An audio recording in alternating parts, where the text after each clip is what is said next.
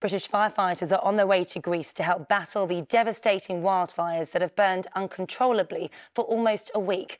Ten countries have already sent crews and specialist equipment, such as aircraft, to help, while another eight are sending further reinforcements.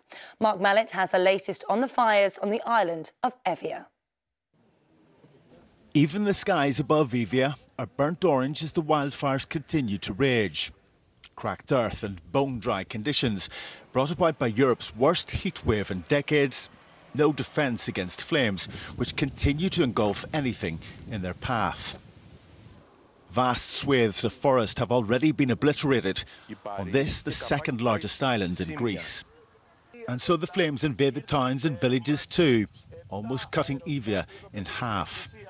Thousands of people have already been evacuated, with Greek Coast Guard vessels and ferries even being used to take people from the beaches on the north of the island. There's no downplaying the mammoth task facing the hundreds of firefighters from Greece and further afield. Planes and helicopters have also been drafted in to dump gallons of water in an attempt to try and dampen the flames. But in a cruel twist of fate, hot and windy weather is proving to be another major obstacle.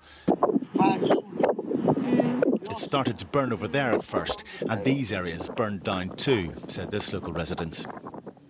The causes of the fires, which have been running for several days now, are under investigation, but Greek and European officials have blamed climate change for the large number of fires that have burned through southern Europe in recent days.